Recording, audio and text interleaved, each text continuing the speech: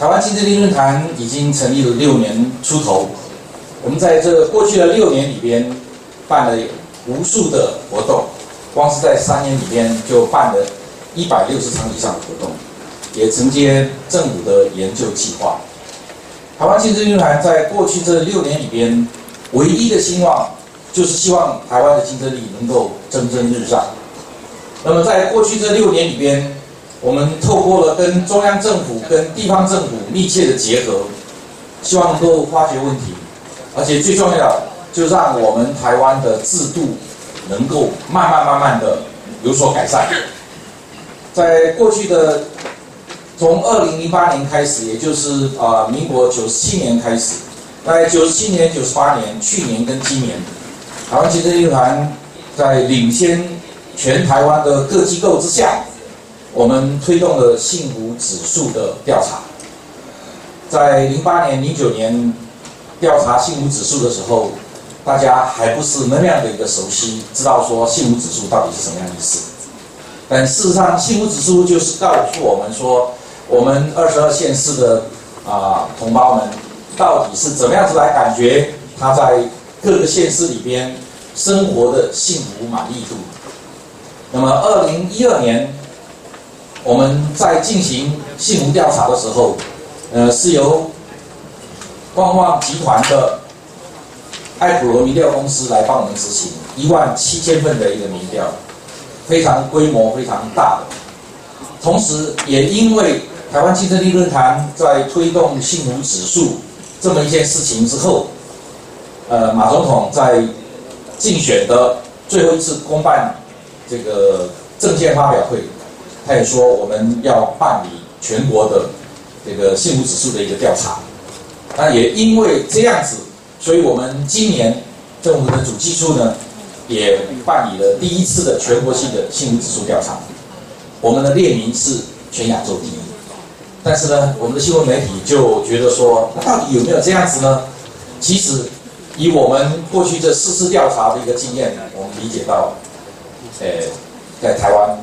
民众的幸福感其实是非常非常深的，尤其是跟家庭、跟个人方面的这种幸福感，都还蛮不错的。不过特别特别的是，花莲县一直都是名列前茅，所以我们今天到一个幸福县的花莲，那么来举办这一次的经济高峰会呢，感觉到特别的一个高兴。花莲我们大家都晓得，花莲的地理环境非常特殊，那么在花莲里边。就有奇来山，有南湖大山，有秀姑南山，高于三千公尺以上的高山就有四十三座，所以我们是一个山的大县，同时我们花莲县也是一个海的大县，我把它称之为这是一个山海大县。山海大县在文化观光的一个领域里边的话，其实绝绝佳的一个景点。我们从来都认为花莲是一个台湾的后花园。但是台湾青春力论坛不这么想，我们认为后后花园这三个字后其实不太理想，我们最好是能够变成为台湾的东方的花园，也就是东大门。我们朝这个方向来规划，那么也很高兴的，呃，我们台开的这个董事长邱生先生呢，他就要来谈说我们怎么样子把花园变成一个东大门。那么花园呢？呃，是最早有国家公园的，我们泰鲁阁国家公园，我相信呢吸引了非常多的这个游客，那么来这个呃参观。那花莲也是国内呢，呃面积最大的一个县，呃我们的山林广袤，这个各种的溪流也是呃非常引人入胜的。同时呢，气候上又跨了热带跟亚热带，在这样一个情况之下，这个所谓的生态的多元性以及这整个空气的清新等等，都是一个观光大县的非常好的一个资源。这个这是一个天然的一个资源。那以今年来看的话，今年到十月份，我们呃外来的本地的游客来呃鲤鱼潭、泰鲁阁、秀姑兰溪的所有的旅客已经超过了七百五十万人次。我想这个是。这个数目字如果跟四五年前来做对照的话，我们发觉到这是一个高级的高速的一个成长。那这种成长呢，显示了我们也呼应了说，在两岸关系缓和之后，有更多的陆客那么来台。如果我们现在稍微看一下新闻媒体的话，也会发现到说，香港的、澳门的、新，尤其是新加坡的这些外国的旅客也越来越多，甚至于呢，我们很多，我刚刚提到说，我们有陈大使，陈大使应该要多宣传一下。我们现在有很多的这个驻外人员，他们驻到，哎，对不起，外国的驻台人员、主管，纷纷的要规划移民到台湾来。这是从来没有发现过的一件事情。这可见得说，我们过去这二三十年一个民族转型，然后再加上一种文化的慢慢的涵养之后，台湾的观光环境越来越好。而所有的观光环境里边最好的就是花莲县。在这样的一个背景之下，我们非常高兴的发现到说，这个过去这四年里边，呃，副县长在各样的县政作为里边。都是领导雄伦的，比方说，花莲人的生命延长了一点七五岁，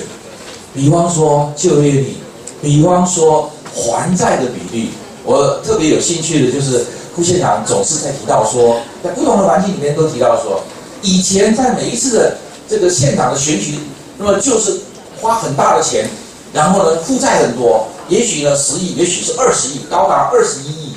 但是呢，在副县长任内就逐渐的来减少负债，啊，这是非常不简单的一件事情。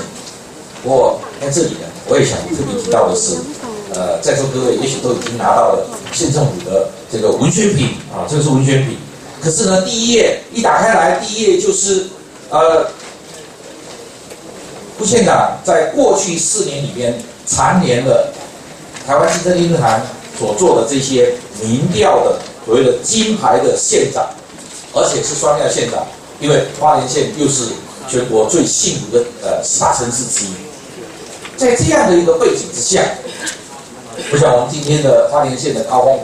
高峰论坛呢，一个非常重要的一个责任，就是能够找出说我们如何使花莲县的县政，在人口不太多，但是天然资源这么丰富的一个情况之下，找出一条。康庄大道，也就是面对着说二十一世纪和无限成长的一个空间里边，花莲县能够表现得更好，经济更繁荣，人民更幸福。啊，我们非常高兴的是，在这一次的这个呃花莲经济高峰会的这个呃筹办期间，我们得到相当多的呃各方面的一个一个协助。呃，我们非常高兴的是，王永庆文教基金会。来给我们大大力的协助，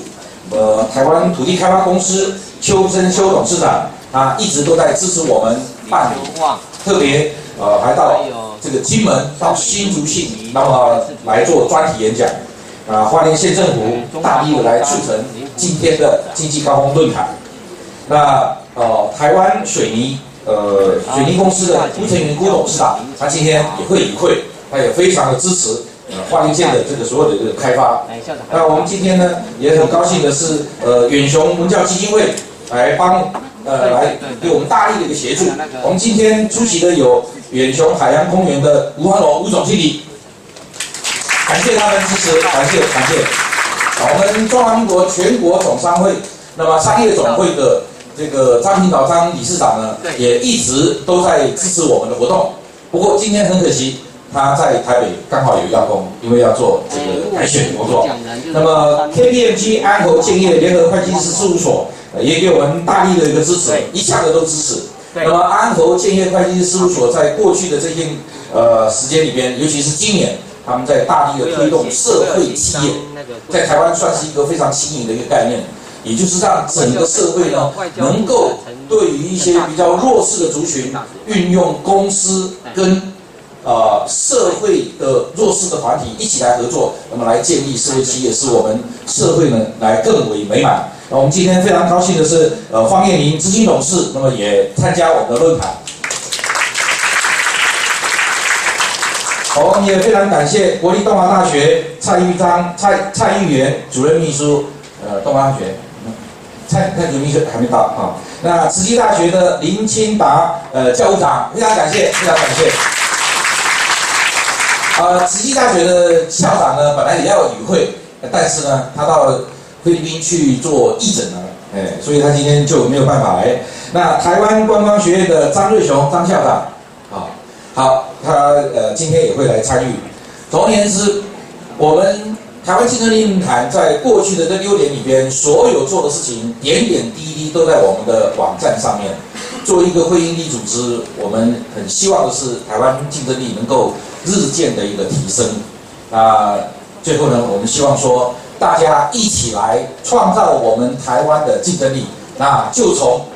花莲县的这个经济高峰论坛来做一个起点，我们来更同心协力来创造美女的呃幸福的未来。谢谢大家，谢谢。